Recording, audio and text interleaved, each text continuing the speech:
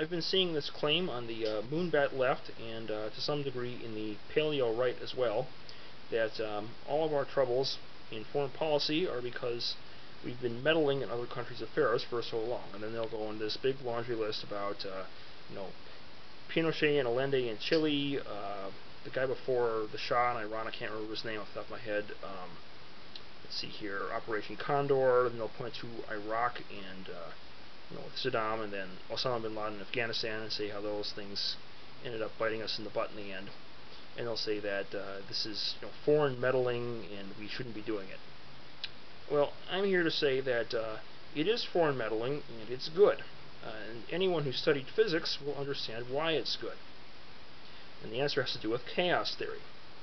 Uh, any complex system is going to naturally, uh, after a while, start all the parts start interacting in increasingly unpredictable ways, and uh, the whole system becomes nonlinear, and there's no way to control the outcome.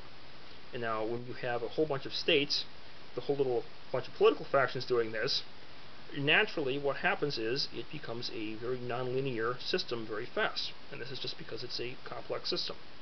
You know, anyone who has a very basic understanding of chaos theory can understand this. So now, in order to prevent it from you know having all hell break loose, you have to constantly keep tweaking the uh, additional parameters you set into the system to you know sort of keep the chaotic system somewhat tamed, you know, mathematically tamed like that.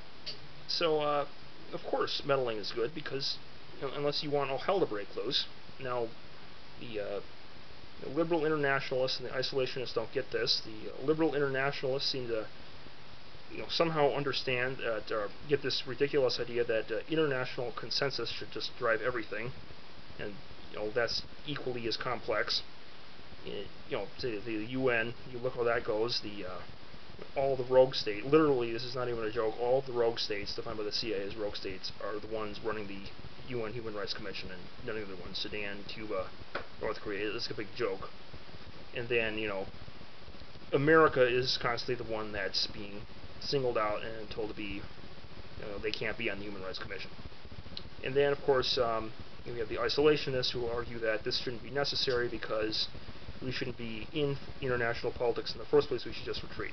Well, this is this is kind of ridiculous for a different reason, and that is we kind of have to just by our size. I mean, we're bigger than Rome even. We're kind of like the the new version of Atlantis almost. We can't be this big and simply, you know, stay outside international scene. It just doesn't work. And so now, fortunately, there are a couple of you know, viewpoints that do understand we need to meddle and that it's you know just a, a fact of international foreign policy. But so that's a redundancy.